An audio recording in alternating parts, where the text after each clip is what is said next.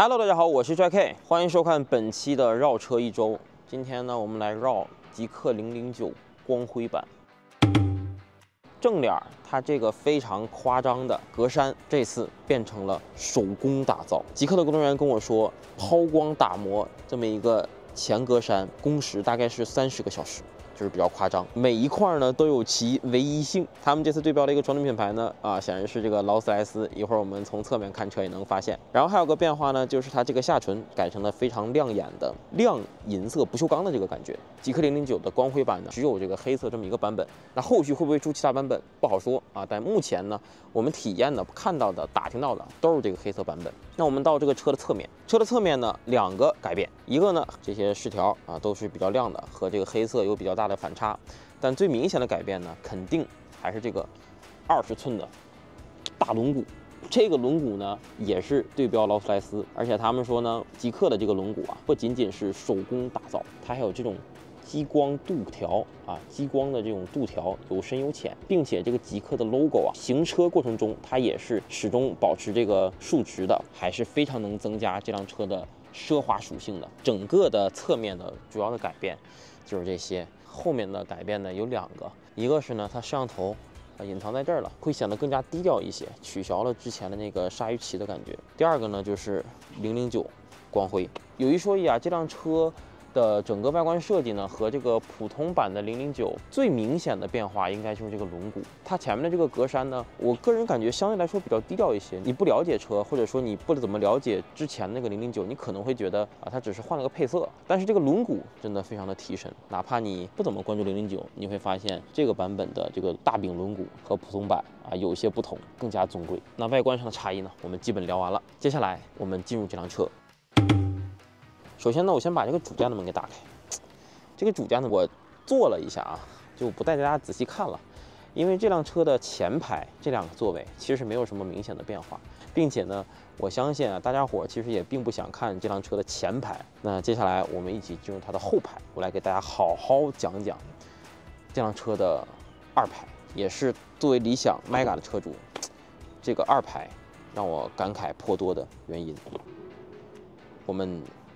准备进入这辆车，一点点跟大家说吧。首先，这里一个皮质的、相对较软的这么一个把手，能够方便无论是老人也好，还是任何人吧，抓着它上车，哎，都会更加的这个轻松一点。然后我们看到这有个专门装花的，这个不是呃第三方了，这个是官方的。这个花瓶是你能给它拔下来，并且在另一侧也有一个一模一样的啊，就是这个小花。你想放在左侧，放在右侧都可以啊，主打一个尊贵的这么一个感觉。然后呢，跟大家说几个点。首先是啊，我现在脚踩的这个羊毛，这个羊毛毯的厚度呢是十五毫米。为什么是十五毫米呢？我也问了一下这个极客的工作人员，他们的意思是他们用了更薄的，觉得这个支撑性不好；用了更厚的，觉得有点太软。他们测试完以后啊，觉得这个十五毫米的厚度刚刚好啊。那我现在踩在上面的感觉呢？确实不错，就是你踩上它，你明显知道，哎，我踩了一个垫子上，但是呢，又不会说非常的软，或者说没有踩在垫子上的感觉。然后正面呢，这个大屏幕和车机呢，我们一会儿再聊。我们现在还是接着聊这个产品的设计元素。那这个呢，叫做喜马拉雅大理石。呃，具体的工艺呢，我就不和大家赘述了。极客的朋友跟我说，非常之复杂，而且这个良率极低。它的大理石板呢，厚度只有一毫米，非常的薄。然后呢，他拿这个 PU 啊，把这个大理石板啊，相当于浇筑而成。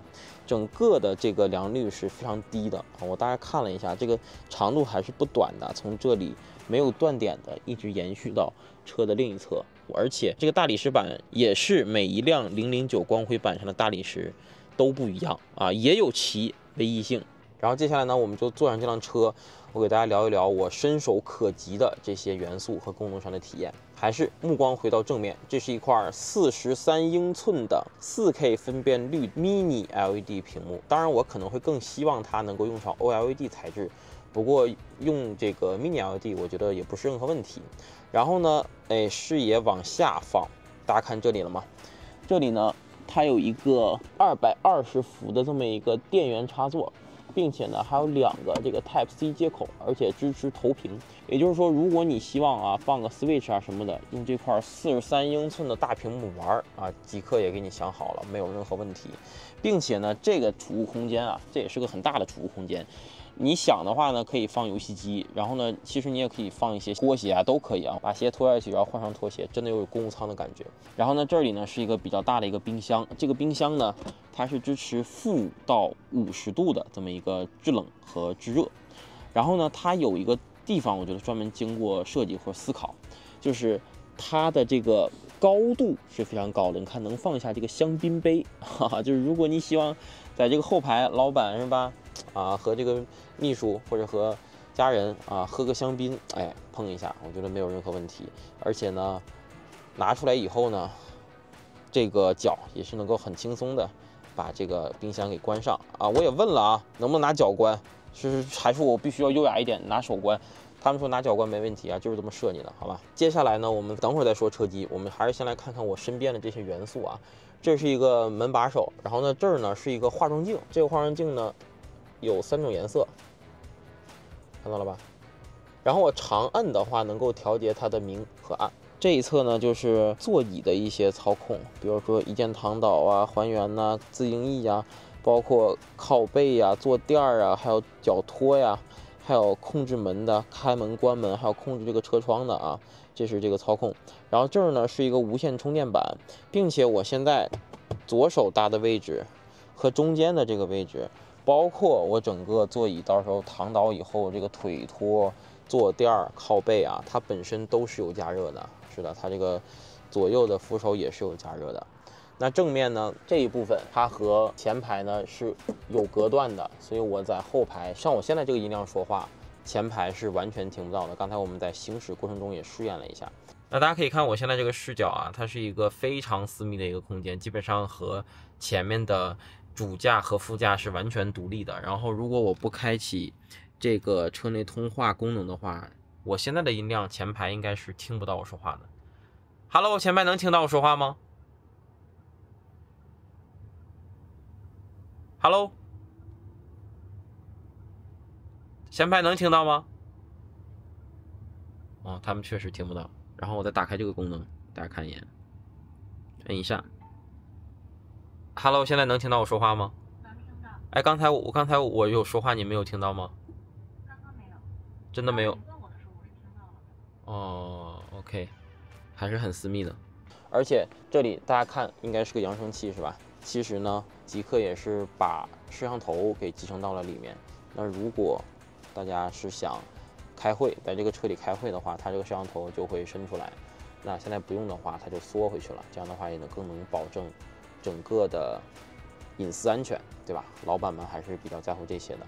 然后接下来呢，我就要主要和大家来说说这辆车的一些车机方面的一些体验，包括一个操控的感受。这个呢，在这个区域就能够操控你后排的大部分的一些车机体验和一些座椅呀，包括音乐啊、多媒体空调这些。这个呢是座椅，这个呢能进入二级菜单啊。然后呢，这个呢是音乐，这个呢也能进入二级菜单。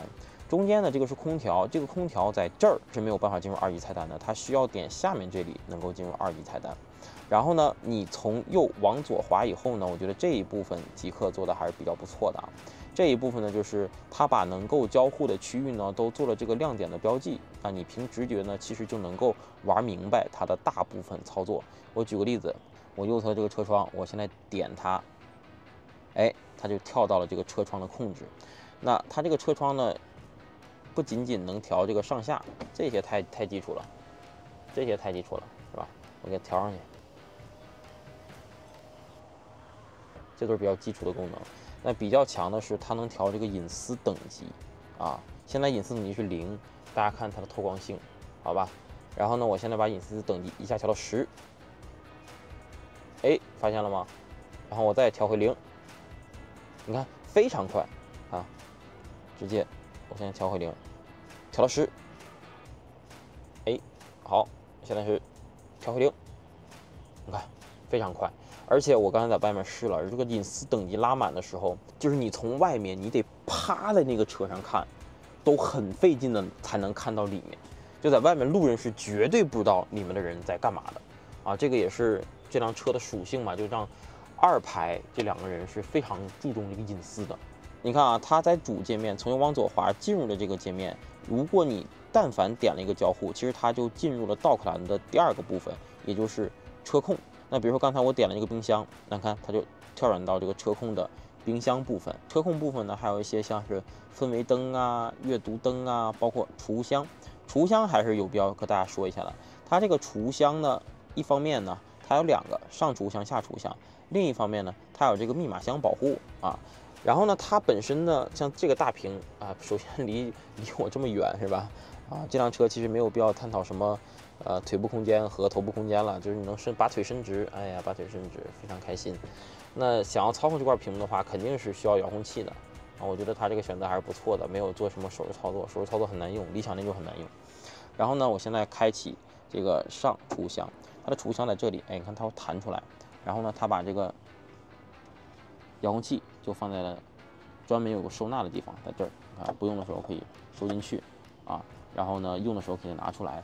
然后本身这块小屏幕呢，也能当遥控器去进行使用。但是我个人其实还是更喜欢这个实体遥控器啊，我觉得要嗯比这个触控板的要好很多。然后这个遥控器也给大家看一眼，这个遥控器在用的时候呢，就能够哎快捷的操作你想要的一些部分。对吧？一会儿给大家展示一些功能。我们接下来还是先说这块小屏幕。这块小屏幕，那呃主界面这两部分就说完了，中控这部分呢其实也说完了。接下来就是大家比较熟悉的音乐，这儿就基本不用说了。然后呢就是座椅，目前坐上来给我的感觉就是很舒服。然后呢，它的这个皮质的触感是非常非常之细腻的啊，非常细腻。然后加热刚才跟大家说过了，它的按摩是比较让我喜欢的。连你的头部，就这里，头部、颈部都能有一个按摩，所以你打开这个全身舒缓，啊，然后你把这个档位调大，会发现这是二十点，这个按摩的这些点位，啊，就是放松的感觉还是不错的，然后力度也是算是蛮大的了，嗯，然后呢，如果你把它展开，摁一下，你会发现啊，它现在不仅仅有这个腿托。哎，看伸出来了，看见了吗？看见了吗？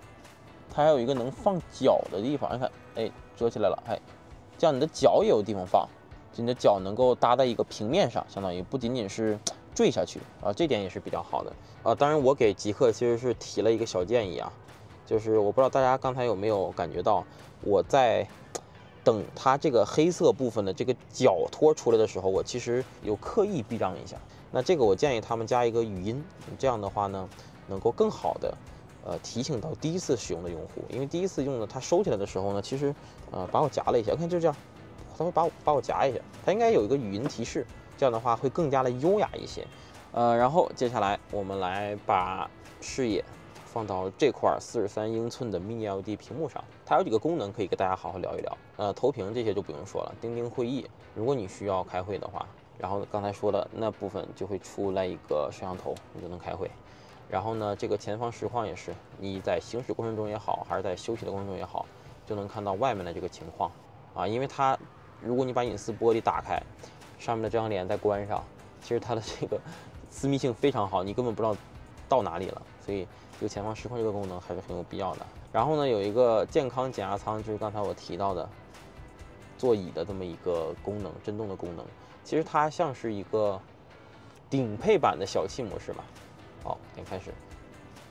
商务舱左，能让你选择。我现在在左边，开启。哦，看，它的遮阳帘就拦上了，然后上面那个隔断也变成了这个遮挡的模式啊。刚才是透明的，现在变成了这个遮挡的模式。然后这个隐私玻璃也是开的，现在是比较暗的。我现在整个的座舱环境就明显比刚才暗了，当然相机会自动调整。然后呢，我现在又进入了一个半躺的模式，对，在这个模式下呢，其实是非常非常放松的啊。然后我现在先退出，哎呀，先结束吧，还是要工作的。那这个扶手呢，其实打开还有一点我觉得比较强，它也有小桌板，而且这个小桌板做的真的是非常非常的像公务舱的那个小桌板，它的阻尼感极好。那大家听到了吗？咔嗒一声，它的阻尼感极好，非常负责任的说。这个阻尼感极好，它确实不大，确实不大啊。我感觉它更多的意义呢，不是让你放笔记本办公，而是放饮品放在这儿，呃，和你的呃好朋友啊小酌的时候，一个香槟杯碰一下啊，放在这儿，可能更加优雅。我个人感觉它不是用来办公的。然后呢，这个部分呢，大家看这个按键，其实是控制控制这的，看见了吗？控制这儿。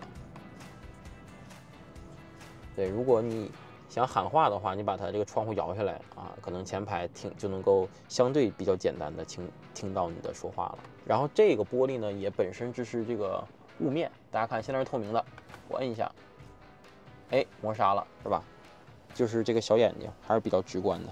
现在这个激活了，那它就是磨砂的啊。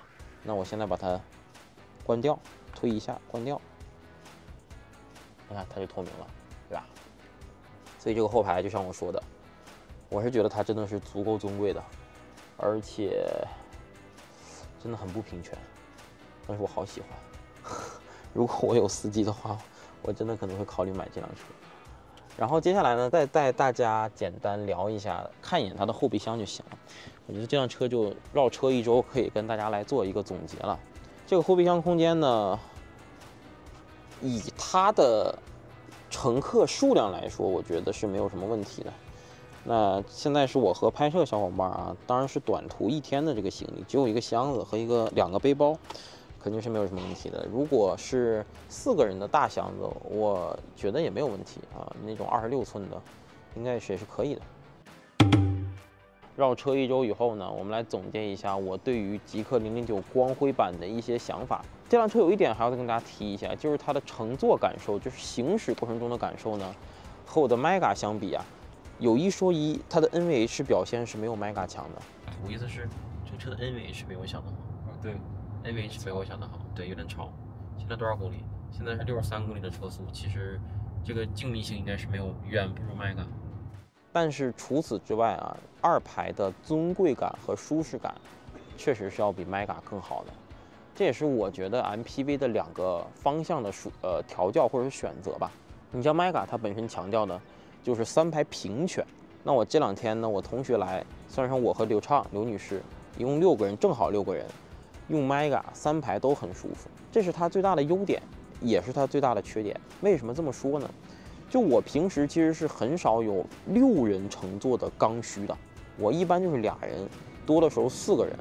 但如果是四个人乘坐的话，其实我不会选选 Mega 去用，不会选这类 MPV 去用，因为它的二排其实它的尊贵感没有拉满。但是零零九这辆车，它的取向就是我把所有的亮点都放在第二排。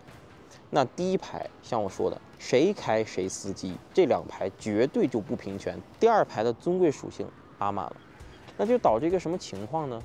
那假如我有司机的话，零零九和 Mega，Mega 我不一定平时会用，但零零九光辉版我平时一定会用。啊，这个就是两种 MPV 的这么一个选择属性吧。我个人觉得，也许没有好坏之分，但确实是差异很大。我是特别喜欢零零九光辉版的这个后排的，尊贵感的确有，所以让我这个 Mega 车主啊，有一点点的小羡慕。极氪这波做的还是不错的，四座的 MPV。很多人说男人最终的归宿就是 MPV，不无道理。行吧，那本期的绕车一周就跟大家聊到这儿哦，真的没少聊啊。那本期视频的内容就是这么多了。如果看你看到这儿的话，请大家一定要给个点赞、评论、投币、转发。我是 HK，我们下期视频见，祝各好运，拜拜。